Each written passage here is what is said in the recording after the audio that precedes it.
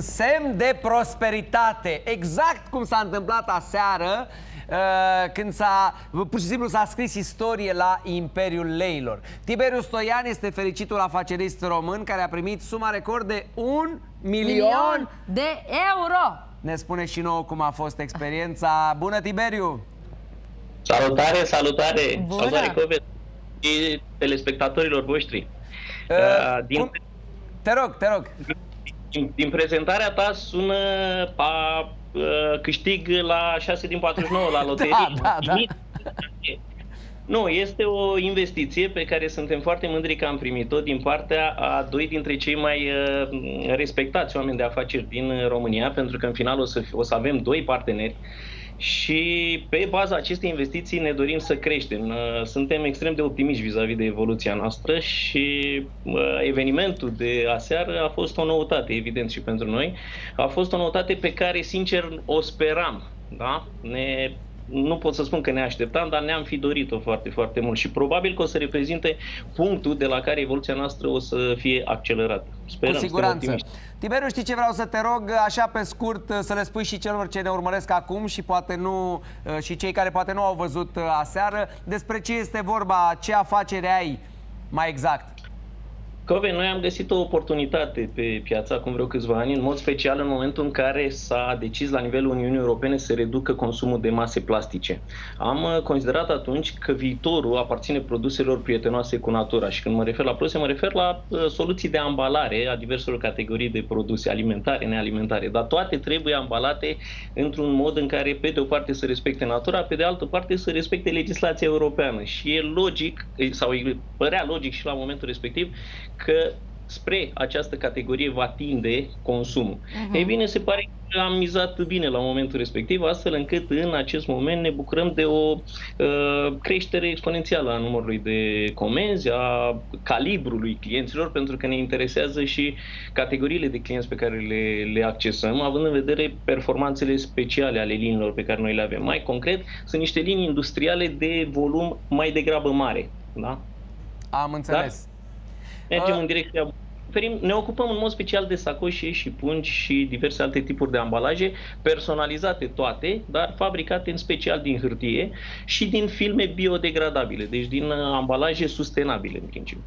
Am înțeles. Spune-mi, uh, uh, la ce sumă te așteptai? Adică, cumva, bănuiesc că ai simțit că investitorii uh, vor achesa la propunerea ta, dar uh, sunt curios uh, la ce sumă te-ai gândit, uh, la ce procentaj le-ai oferit din business, uh, cum au stat lucrurile, care a fost planul tău și spunem dacă ceea ce ai obținut a fost mai mult decât te așteptai. Covei, mult spus că mă așteptam, speram, e adevărat. În schimb, uh, sincer să fiu, la nivelul unui show de televiziune și având în vedere timpul relativ limitat pe care niște investitori îl au la dispoziție pentru a lua o decizie în vederea uh, realizării unei investiții sau nu, uh, eram destul de sceptic că nivelul investițional pe care eu îl așteptam ar fi unul care să le permită să ia o decizie rapid. Da? Prin urmare, mă așteptam și la o, o, un răspuns negativ și nu din partea unuia, ci din partea tuturor investitorilor, nu niciun fel de problemă. În schimb, uh, vizibilitatea și uh, de care am beneficiat și faptul că am avut o oportunitate extraordinară de a-i cunoaște pe acești oameni, m-ar fi pus în uh, situația în care și ulterior să avem niște discuții mai aprofundate în care să înțeleagă poate mai detaliat care sunt oportunitățile industriei noastre și de ce nu să fie investit ulterior. Cum Prin te- urmare, nu aveam așteptări extraordinare și puteam să... uh, Eram pregătit pentru orice. Am altfel. înțeles. Cum te simți astăzi când știi că ai uh, o investiție de un milion de euro în afacerea ta? Da, e o investiție importantă, având în vedere nivelul la care noi suntem în momentul ăsta. În schimb, tindem către mult mai mult. Noi sperăm ca în următorii 2, maxim 3 ani, să avem investiții de aproximativ 6 milioane de euro. Prin urmare, e clar că nu o să, nu o să ne oprim aici.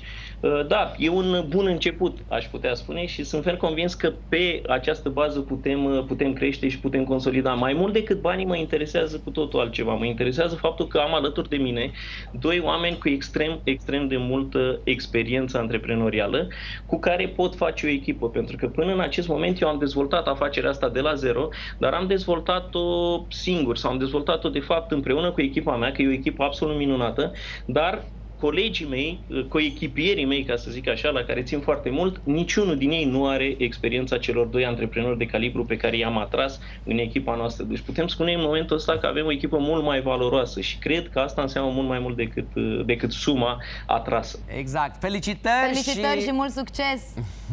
Mulțumesc mult de tot, mulțumesc mult, toate cele bune și vouă. toate cele bune, numai bine. Da,